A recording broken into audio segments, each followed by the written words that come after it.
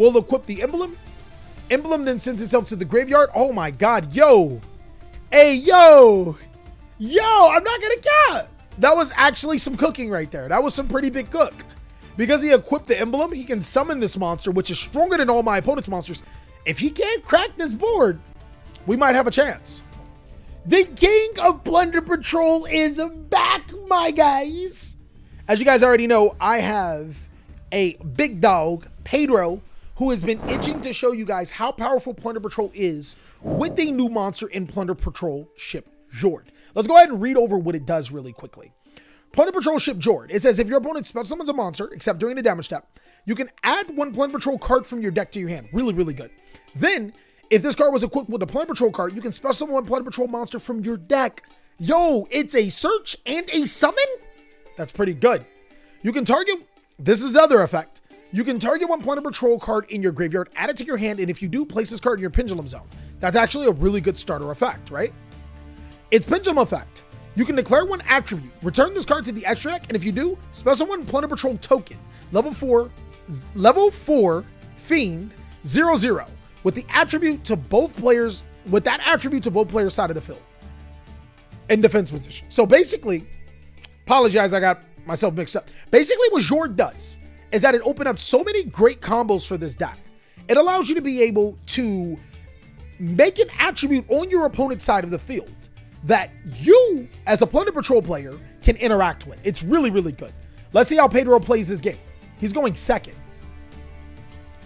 So Camellia gets summoned. Camellia to send Naturia Sacred Tree. Sacred Tree activates. It'll be able to get Naturia Blessing. Uh, Naturia Blessing, special summon Mole Cricket. Mole Cricket, using Camellia's effect, they'll send two to be able to summon another Camellia. They'll synchro summon into Natty B. Uh-oh, we're in trouble. And then Mole Cricket summons itself back to the side of the field, set one pass. So no spells can be activated here unless we get rid of this card. Then Mole Cricket could potentially summon a card named Naturia Sunflower and a face down. This is actually kind of rough. We'll draw Rite of Aramesir here. Didn't want to see it. We'll normal summon Gold Hair. Our opponent will use Camellia. They milled the Sunflower? This is no bueno. We'll link off the, the hair into a Salamangreat Almiraj. We'll trigger Golden Hair, discarding Whitebeard to summon itself. Whitebeard probably will get negated. It will with Ash Blossom. Pedro, how are you getting out of this? How are you getting out of this? All right. We then link with both our Almiraj and our White here. We're gonna make a Bluebeard to our side of the field. Do we? I think we attack over the the Sunflower, right? If he doesn't play like the Naturia monster to stop attacks, I think we're golden. Mole Cricket effect. Camellia to mill, and then they get the sub. God damn it! They play it. Unlucky. Naturia Vein allows us to tribute one Naturia monster. Oh no, that's a spell trap negation. Oh no, we're golden. He doesn't play the the the one to negate activations. Kelbek then forces to send five more. We'll go into battle phase, attack over the Sunflower. Then we'll go Bluebeard effect to summon Jord. You guys are now about to watch the power of Jord here. They'll activate Madura in response. Oh, okay. I think they milled it. And then they'll go Sacred Tree. We'll attack over the vein, go into main phase two. We'll activate Jord. They'll chain Sacred Tree to tribute off the Mole Cricket. Okay. They'll summon Sunflower again, so now they have their negation back online. And Jord will allow us to get our Plunder Patrol ship ship shipping. It'll also place itself in a pendulum zone. Then we'll select Dark, summoning two monsters to the field. We'll activate Bluebeard to summon itself and link with those two monsters. We're going to make a Bluebeard, Blackbeard number two. I've been calling it Bluebeard.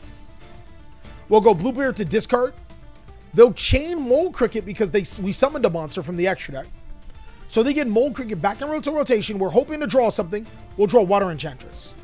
Shape Ship Shipping then activates. We'll equip the emblem. Emblem then sends itself to the graveyard. Oh my god, yo. Hey, yo. Yo, I'm not gonna cap. That was actually some cooking right there. That was some pretty big cook. Because he equipped the emblem, he can summon this monster, which is stronger than all my opponent's monsters. If he can't crack this board, we might have a chance. All right. Our opponent's going to draw for their turn. They're going to crack the board, aren't they? That looks like nine. Don't be Trish. Don't be Trish. Well, damn. Here's the Trish. We'll train the Mork, discarding the Bluebeard, targeting the Naturia Beast. They'll Sunflower the monster. Cool. Resolving. Sunflower will negate the Mork. Trishula will banish as much as possible. It'll banish the Blackbeard and our Shipyard from our hands. And now they'll activate Agido, summoning itself alongside of the Kelbek. That is a whopping amount of damage, guys. That's 5,700? We'll normal summon another Kelbek. We're then going to link into the IP Masquerena. In phase. So, really good by Pedro. He was actually able to force his opponent to make a monster like Trish, even though we gave him some material. But we're able to break the Naturia Beast Sunflower lock. And now we're playing back to our game. We have our adventure cards. We just need Plunder Patrols online. We're going to draw Imperm. All right. Imperm the IP. Definitely should have used that in draw phase. He's going to respond with IP to link off. Agido plus IP probably makes what? Sprite Elf?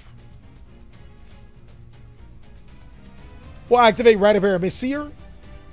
We'll summon our Adventure token. They'll chain the effect of Sprite Elf. They'll special summon the Naturia Sunflower. Then they'll use Naturia Sacred Tree to tribute off their Sunflower. Yoda's player is actually really good. They'll summon Mole Cricket. We'll get the Dracoback. Unfortunately, it ain't much of stopping from the Dracoback. He'll then chain the effect of Mole Cricket. We have the strongest monster on the field, so they can summon two here. They'll summon Stinkbug and another Mole Cricket. We'll add Wandering Gryphon Rider. Now, Stinkbug is the one that negates attacks. We'll then activate and summon Wandering Gryphon Rider, banishing the Water Enchantress to get into the Rite of Aramesir. Then activating Golden Hair, discarding the Dracoback to summon itself. Dracoback to equip to our token. Holy, we're cooking, guys. We'll then get rid of the Sprite Elf and then Link Summon. Holy, we're cooking, guys. We're gonna, oh, we're gonna Synchro Summon back into Jord. You're gonna see some Jord action again. Jord effect. Oh no, they chained Mole Cricket, duh. Jord effect. Adds us Whitebeard.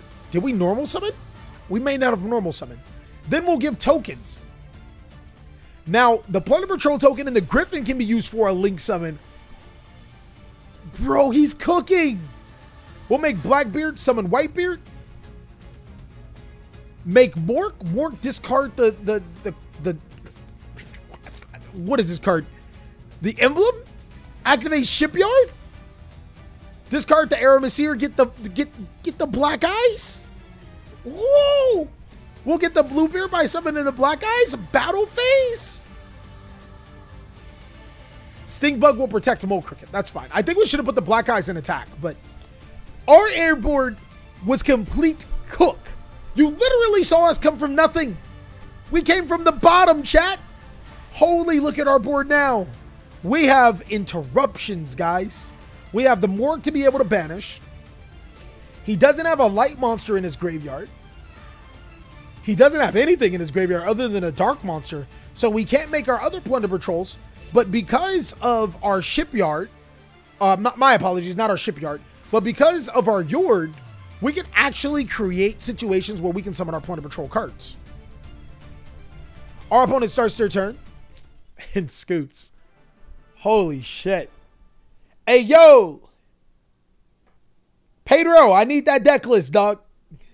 I need that deck list. We need that. We need that. So Pedro is showing us his deck profile for Plunder Patrol here. As you guys can see, there's 3 DD Crow, 3 Maxi. That's pretty good against tier limit, right? There's Water Enchantress, 3 Whitebeard, 3 Redbeard. Um, might be 2 Bluebeard. Oh, there's 3 Bluebeard, 3 Golden Hair, uh, 3 copies of Black Eyes, 1 Wandering Gryphon Rider, 1 Change Your Heart. That's crazy. Foolish Burial, Terraforming, 2 Triple Tactics Talent, 1 Shape Ship Shipping, two copies of Rite of Aramesir, two copies of Emblem, one Dracoback, three copies of Shipyard, one copy of uh, Adventure, Fateful Adventure, two Call by the Grave, three Droplet, two Emperor. For the extra deck, there's two of the Fusion Plunder Patrol monster. Completely forgot. One White Will Aura, one Draco Berserker, two Brawn, one copy of Resite, one copy of the Jord, the new Jord, one Abyss Dweller, two copies of Mork, one Salamangreat Almiraj, and three copies of Blackbeard. That's pretty much it for his deck profile. I think it's really solid. Let me know what you guys think. And of course, if you guys have any replays you want to share with me, go ahead and contact us on email, giving us a description as well as your deck profile. And let's see what you got. I'll catch you on the next one.